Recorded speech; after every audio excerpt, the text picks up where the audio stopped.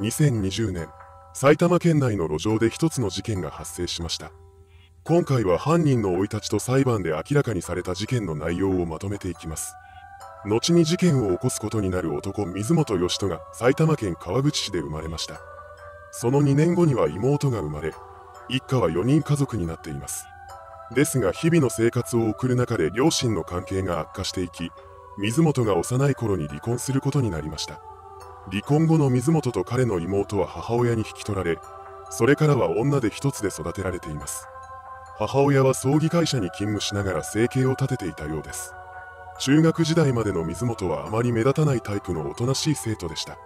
そのため周りの生徒からも地味な人間という印象を持たれていたそうです。それは高校に進学してからも変わりませんでした。県内の公立高校に進学した水本は中学時代と同じように変わり映えのない日々を過ごしていたようです。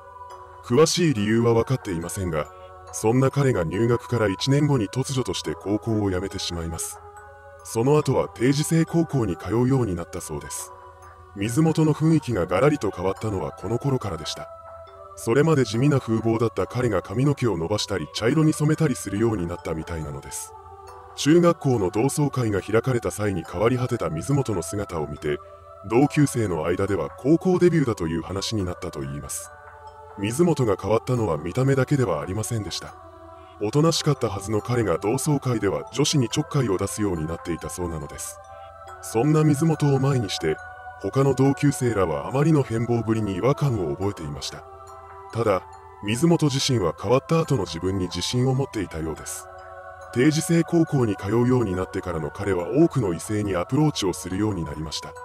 そうして交際に至った女性に振られた際には相手が新たに付き合い始めた男性のことを指して、俺の後によくあんな顔の男と付き合えるよな、と吐き捨てるように言っていたそうです。高校卒業後の水本は建築関係の仕事に就いています。この時には定時制高校の同級生だった女性と交際していたようです。そんな彼女との間に子供ができたことがきっかけで2009年6月に結婚を果たしました。そして10月には長男が生まれています。その後、長女と次男が生まれ、水本は3児の父親になったのです。彼は子供たちのことをとても可愛がっていました。そのようにして充実した私生活を送っていた一方で、仕事はあまりうまくいっていなかったようです。水本は一つの仕事を長く続けることができずに職場を転々としていました。そんな中でたどり着いた先が携帯電話の販売店だったようです。そこでの仕事はそれなりにうまくいっていました。しかし今度は妻との関係が悪くなってしまいます。そしてついには離婚することになってしまいました。こうして独り身になった水本は新たな交際相手を作り、2018年には2度目の結婚を果たしています。ほどなくして彼女との間にも子供ができたようです。そのようにして再び家庭を持った水本でしたが、彼は夫としての責任と自覚を持ち合わせていませんでした。水本は自身の職場である携帯電話販売店に新入社員として入社してきた12歳年下の女性石澤さとみさんに恋をしてしまったのです。そして最悪なことに、水本は妻子がいる身でありながら教育係という立場を利用して石澤さんに言い寄るようになりました。その流れで2人は不倫関係になってしまいます。以降の水本は石澤さんに夢中になり、家庭を顧みない生活を送るようになりました。水本は石澤さんのことをさーちゃんと呼び、逆に石澤さんは水本のことをピーちゃんと呼んでいたそうです。この2人の関係は2年近く続いていました。その間に水本の妻が不倫に気がつきます。そこで彼女は夫の水本と不倫相手である石澤さんに慰謝料を請求することにしたようです。そのような状況に陥ってからようやく石澤さんは目を覚ましたのでしょう。彼女は慰謝料請求直後の2020年7月に水本に対して交際を解消するという連絡を入れました。しかし石澤さんにすっかり夢中になっていた水本はこの話を受け入れません。それからも彼は必死になって石澤さんのことを引き止め続けました。ですが彼女が考えを変えることはなかったようです。そんな中で水本の転勤が決まり、2人が職場で会う機会もなくなりました。それでもなおしつこく連絡してくる水本に対して石澤さんは8月11日に他に好きな人ができたと告げています。この言葉を受けた水本は絶望しました。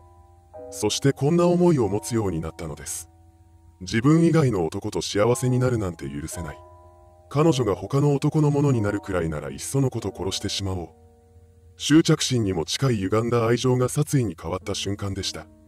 それからの水本は石澤さんの殺害計画を立て始めます。ただあくまでも彼の本来の目的は石澤さんと交際し続けることでした。殺害計画はそれがもう叶わないと確信した場合にのみ実行するつもりだったようです。この時の水本は妻と離婚すれば復縁できるかもしれないという淡い希望を持っていました。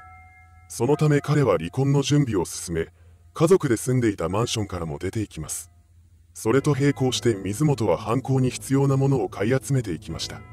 彼は石澤さんから他に好きな人ができたと告げられた1週間後に彼女を縛るためのロープと刃渡り18センチを超える包丁を用意しています。さらに自分の名前が刻まれた焼き印も購入したようです。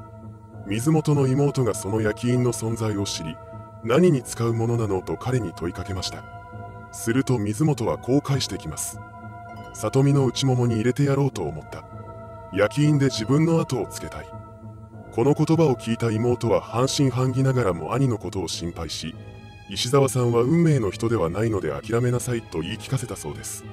しかしこれで水本が犯行を思いとどまることはありませんでした。2020年9月妻との離婚を間近に控えた彼は復縁を求めるために石澤さんに連絡を入れます。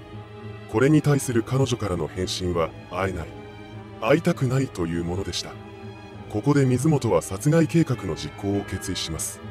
犯行準備をすでに整えていた彼はすぐに計画実行へと動き出しました。2020年9月30日早朝水本は石澤さんの勤務先である携帯電話販売店の近くに車で向かっていきます。そして販売店の近くに身を潜め出勤してくる石澤さんのことを待ち伏せすることにしました。まさか水本が自分を殺害するために待ち伏せしているなどとは思ってもみない石澤さんはいつものように出勤してきてしまいます。水本がそんな彼女のことを発見し隠し持っていた包丁を取り出しました。そして午前9時過ぎに埼玉県越谷市の路上で彼が石澤さんに襲いかかったのです。水本は包丁で石澤さんのことを何度も突き刺します。これにより彼女は失血死してしまいました。殺害後の水本はその場で放心していたようです。そんな彼のことを通行人の女性が発見しました。彼女の目線からは包丁や血などが見えていなかったらしく具合が悪いのかなと思って声をかけようとしたそうです。すると水本が包丁を振りかざして威嚇してきました。そこでようやく女性は人が刺されていることに気がつきます。彼女は慌てて現場を離れていきました。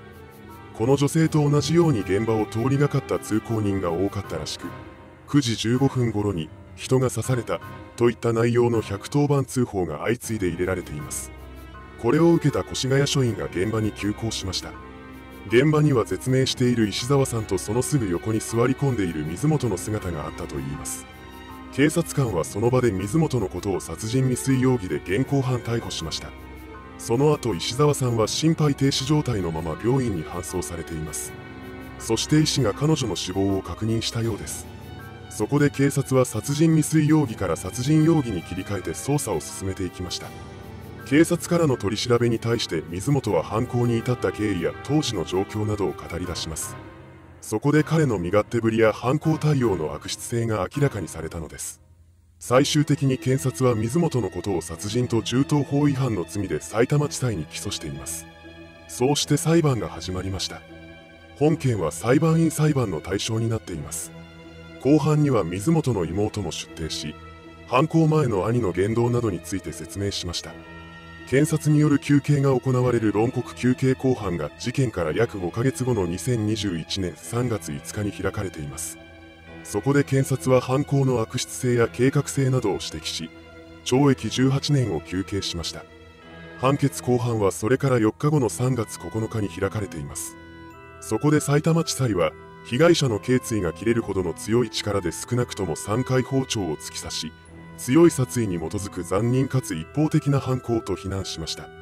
また犯行対応については包丁やロープを準備し被害者を待ち伏せ事故の意向に従わなければ殺害することも考えていた。経緯や動機は被害者の気持ちを顧みない身勝手なもの。残忍かつ一方的な犯行で若い被害者の未来を奪った結果は重いと述べ水本に検察側の求刑を1年下回る懲役17年の実刑判決を言い渡しました。その後弁護側が控訴したのかどうかは現時点で確認できていません。ただ一審の決心から1年9ヶ月近くが経過した現在でも控訴審が行われたという報道が出ていないところを見ると控訴はしていないものだと思われます。いかがでしたでしょうか？不倫の末に関係の継続を拒絶してきた相手のことを恨んで殺害した犯人。犯行動機について犯人の男は被害者の女性が自分以外の男と幸せになるのを許せなかったと述べているのですが一体なぜ自分自身が相手のことを不幸にしているということに気がつけないのでしょうか。犯人の男が事件を起こしたことで被害者や遺族はもちろんのこと彼の周辺者も全員不幸な思いをしているはずです。それではご視聴ありがとうございました。